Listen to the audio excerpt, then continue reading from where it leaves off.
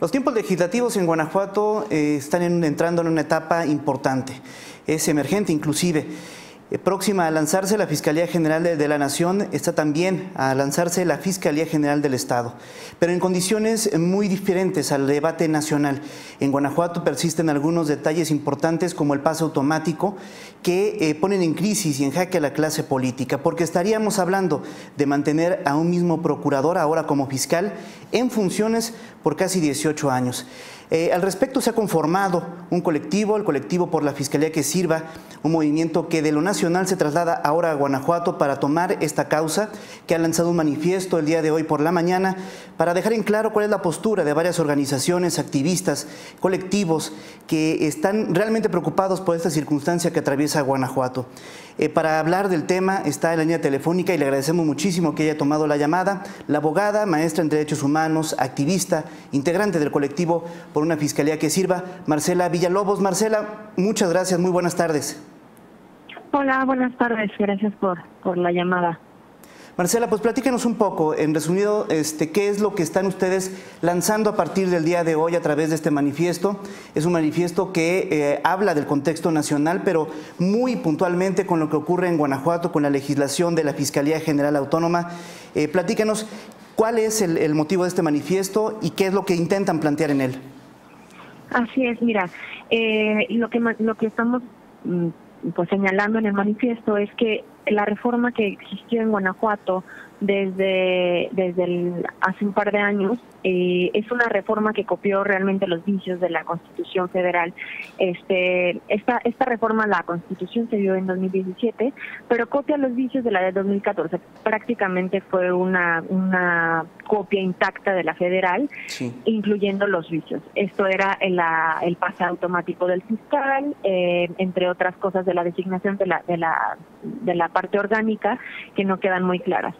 Eh, hace unos meses ya se modificó esto en el, a nivel federal, sin embargo en Guanajuato pues queda igual, ¿no? O sea, lo que está ahora en la Constitución en el artículo 95 es que mm, eh, podría haber una, un paso automático del fiscal, o sea, es decir, en los transitorios marca que quien esté al frente de la Procuraduría podría pasar como, como el representante, el nuevo titular de la Fiscalía Autónoma en caso de que no se haga una designación de otra manera.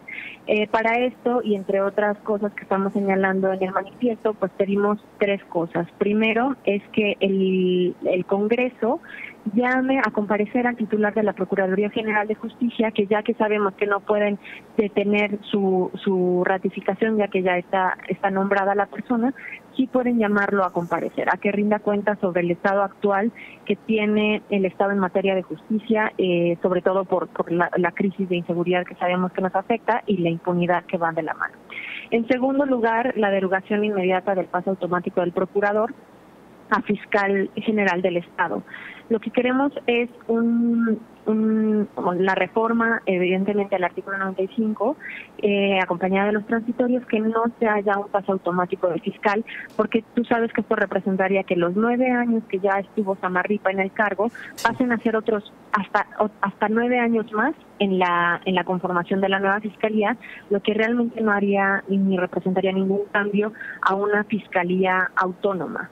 Y el tercer punto, pues es esto justo, ¿no? La reforma al artículo 95 de la Constitución Política para el Estado de Guanajuato, que además de la eliminación del paso automático, cree o genere un método de designación del titular de la Fiscalía que contemple la participación de la sociedad civil y que garantice la llegada de un perfil pues idóneo e independiente para el cargo, independiente de poderes fácticos y de y de otros poderes, o sea, sobre todo de poderes que están alentando desde ahora como, como este pase automático. Claro. Además, eh, la obligación de la Fiscalía para, para elaborar un plan de persecución penal que atienda fenómenos delictivos y órganos ciudadanos que puedan que podamos estar vigilando el funcionamiento de esta nueva Fiscalía.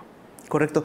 Marcela, el andamiaje jurídico que en este momento está este, en en revisión en la parte federal, pues está finalmente armando las piezas. Vamos, eh, creo que van pasos un poco más adelantados en el sentido no solamente de los tiempos, sino de cómo se está armando la fiscalía, cuáles son los brazos operativos que va a tener. Hubo un trabajo ahí en el que se acercaron organismos de la sociedad civil, es decir, el proceso de debate ha sido mucho más abierto. Eh, digo, yo más o menos tengo mi opinión, pero evidentemente que quiero conocer la tuya porque en Guanajuato me parece no ha habido la misma apertura. Es decir, este proceso que tú mencionas hace dos años, cuando se elabora un dictamen con la Fiscalía, colocando el pase automático, eh, también mm, vamos asignando algunos requisitos que no garantizan del todo que sea una competencia abierta, donde haya participación ciudadana para elegir eh, diferentes cuadros o, propuestas o candidatos para encabezar la Fiscalía. Eh, yo creo que en Guanajuato no hemos visto esa apertura, eh, que a nivel federal, digo, tampoco la hubo del todo desde el inicio. Es un ostión que se fue abriendo. Pero bueno, aquí en Guanajuato me parece que ni eso. ¿Tú cómo lo ves?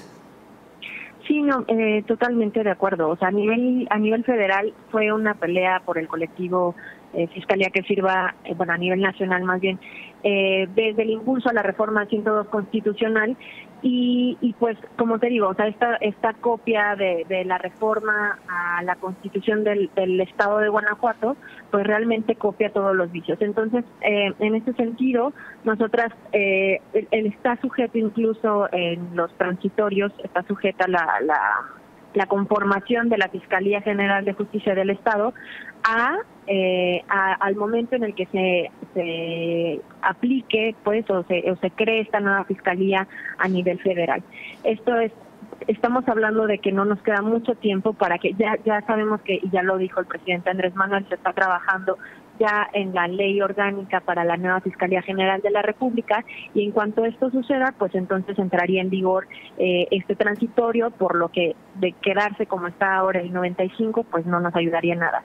Eh, apenas nos hemos estado acercando con, con las y los diputados del Congreso local, ya que pues vimos que estuvieron como muy activos a nivel federal desde la desde el, desde el Partido Acción Nacional que es mayoría en el Congreso local este a nivel federal pues se factaron de haber como impulsado este no hay pase automático entonces pues queremos ver los mismos resultados a nivel local y en ese sentido pues ya ya pedimos una una audiencia pública que esperamos respuesta en los próximos días y que bueno esto esto nos pueda ayudar para para hacer un proceso mucho más abierto transparente y que nos lleve a una fiscalía que sirva no así es. El tiempo apremia Marcela. Así es totalmente el tiempo apremia.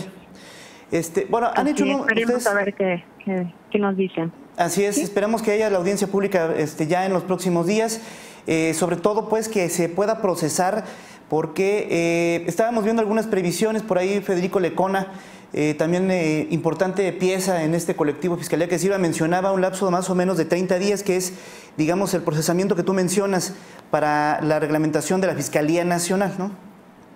Así es, de la Fiscalía General de la República. Sí, más o menos es el tiempo que han, que han estado pues mencionando, eh, bueno, desde, desde el Ejecutivo Federal o del presidente electo. Eh, sin embargo, pues bueno, como tú dices, el tiempo apremia y no podemos esperar a que entre en vigor eh, estos transitorios cuando realmente podemos empezar a trabajar en un proceso transparente y participativo desde, desde, este momento. O sea, si, si realmente el compromiso eh, desde el Partido de Acción Nacional a nivel federal fue la eliminación del pase automático y una fiscalía autónoma, pues entonces queremos ver el mismo ejemplo en, en la propia casa, ¿no? Así es. Han hecho un trabajo también importante de difusión, este, Marcela, en este tiempo, eh, tratando de sumar voces, sumar de colectivos.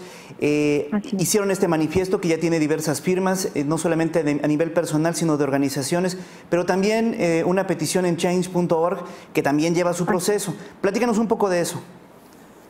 Sí, bueno, empezamos eh, desde el, desde el, en que entró el nuevo gobernador, bueno, Diego, Diego Sinue Rodríguez, en funciones y e hizo público a, a, través de un comunicado la ratificación del personal en materia de seguridad, eh, como es el secretario de Seguridad y el procurador, pues en ese momento nos alertamos de decir, bueno, si el proceso está como está actualmente y la constitución no cambia, entonces eh, con el con la, la sola moción de querer continuar de, de por parte del gobernador para Samarripa, eso lo haría o lo convertiría en el próximo fiscal con un paso automático. Entonces, nosotras nos preocupamos y a medida de lo posible, pues hicimos este, algunas acciones que pudieran eh, pues visibilizar lo que está sucediendo en Guanajuato y explicarlo de alguna manera.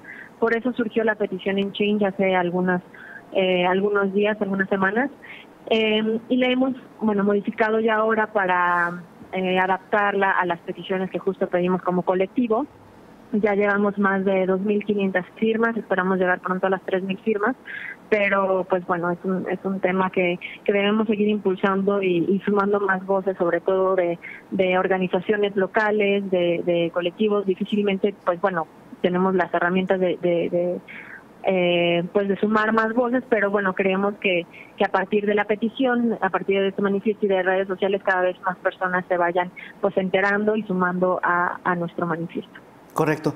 Eh, te invitaría nada más, eh, por último, que nos compartas un poco eh, cómo viste la participación de la oposición, que es importante también en este debate público. El procesamiento finalmente de la Procuraduría, del Procurador, manteniéndolo en funciones el jueves pasado. Se esperaba un poco más de debate, de oposición al respecto. Sin embargo, nos sorprendimos pues con el papel que fungió la oposición. En este caso es vital, estamos hablando de una causa que Acción Nacional se ha mostrado dos caras, una en, la Ciudad de México, en el Congreso de la Unión, y otra aquí como gobierno y como eh, eh, partido predominante. Eh, la oposición requerirá también de pues, darse una sacudida y entrarle y subirse a ese tema, ¿no? ¿Tú cómo lo ves? Sí, totalmente. Me parece que el, desconocimiento, bueno, sin, sin, o sea, con todo respeto, el desconocimiento es generalizado. O sea, pareciera que todavía no queda claro si la, ratificación a Samarripa tenía que ser o no, cuando ese realmente no tendría que ser el punto de discusión.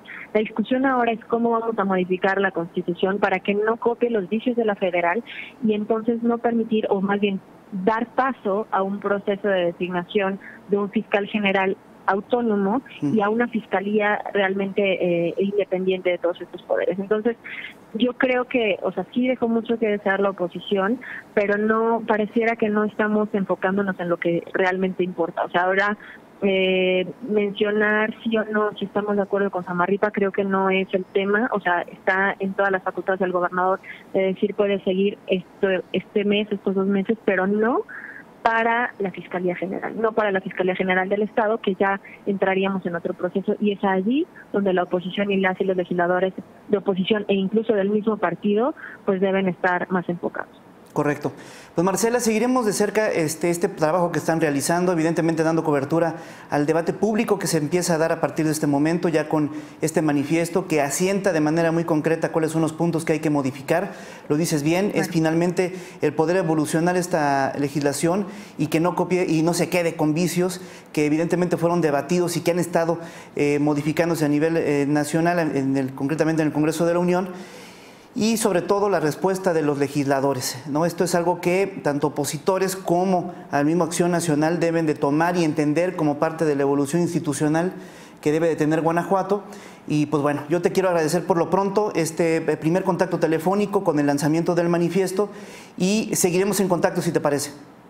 Claro que sí, muchas gracias otra vez por la llamada y pues cualquier cosa aquí seguimos impulsando desde, desde sociedad civil. Gracias Marcela, muy buenas tardes. Buenas tardes, hasta Buenas tardes a Marcela Villalobos.